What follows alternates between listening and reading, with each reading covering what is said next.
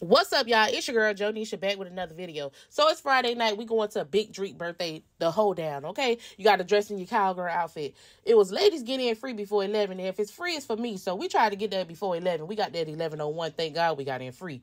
First thing you do when you get to the club, get you a damn drink, cause you all of a sudden thirsty. Then you start taking pictures. Boom. Then you find your little section sit down, cause I'm not standing up all damn night. This section was free. It was over in the corner. You couldn't see nothing. I didn't care. It was free for me. So boom, we in the corner.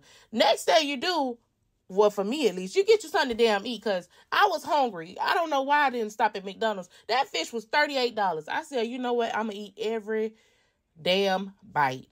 Every bite. I'm eating every bite, which that's what I did. I ate every bite and it was good too, but for $38, I don't know, it was a little spicy. And I forgot fish had bones in it. Fish got bones in it, girl. I was over there eating real slow because I'm like, uh, I'm not for the choke. Then this happened. I'm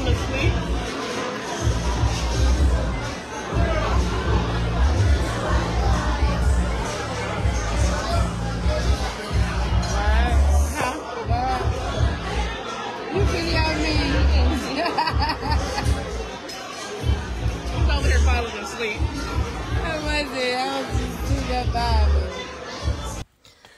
She talking about something over here, Bobby. Girl, you over there falling asleep. So after I cleaned my plate, I had to re-put on my lipstick because I ate that fish down to the bone and all my lipstick was gone. So then it's time to party. But really and truly, I'm not a partier. I am not a partier. I'm a real deal grandma. So we danced a little bit, you know, work them little calories off. Then after that, I was like counting down the time. I ain't gonna lie. I was like, ooh, y'all want to leave at 1.30? I was like 125, 120, 127, 130. My auntie was like, let's go. I really cannot hate y'all. This whole time I was like, uh -uh, I'm finna go get my baby. So we went back to the hotel and I had to get my truck because I had we rode with my auntie. So boom, I went and got my baby and I went to sleep. Bye.